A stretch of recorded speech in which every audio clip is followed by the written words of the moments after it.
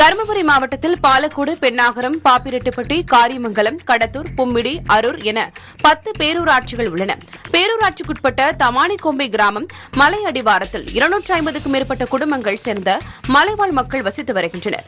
போதிய படிப்பறிவே இல்லாமல் அன்றாடம் தினக்கூலி வேலை செய்து வாழ்க்கையை நடத்தி வருகின்றனர். இந்நிலையில் இந்த கிராமத்தில் போதிய அடிப்படை வசதிகள் செய்து தரப்படவில்லை.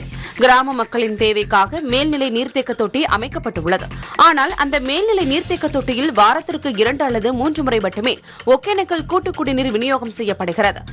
தண்ணி வெளியில் போகுதுன்னா தான் பாத்திரத்தில் பிடிச்சி ஊற்றுறதும் மற்ற எடுத்துகிட்டு போய் வெளியில் ஊற்றுறதும் இப்போ என் வீடுங்க இப்போ கட்டாமல் இருக்காங்களே பக்கத்தில் ஏமா அந்த சமயத்தில் எடுத்துகிட்டு போய் ஊற்றிடுவாங்க அவங்க வீட்டுக்காரங்க வந்தால் திட்ட வேண்டியது தான் அப்படி ப நிறைய பிரச்சனைகள்லாம் வருது. அதனால கண்டிப்பாக எங்களுக்கு இந்த காவாய் வேண்டும் மேலும் அன்றாட தேவைகளுக்காக ஊரில் உள்ள இரண்டு விசை பம்புகளை பயன்படுத்தி வருகின்றனர். இதில் ஒரு அடிப்பம்பில் நீண்ட நேரம் அடித்த பிறகுதான் தண்ணீர் வரத் தொடங்குகிறது.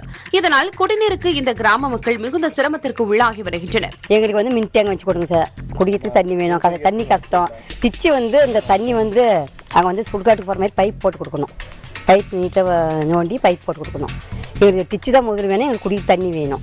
மேலும் துணி துவைப்பதற்கு போதிய தண்ணீர் இல்லாததால் அருகில் உள்ள விவசாய நிலங்களுக்கு செல்ல வேண்டிய நிலை உள்ளது.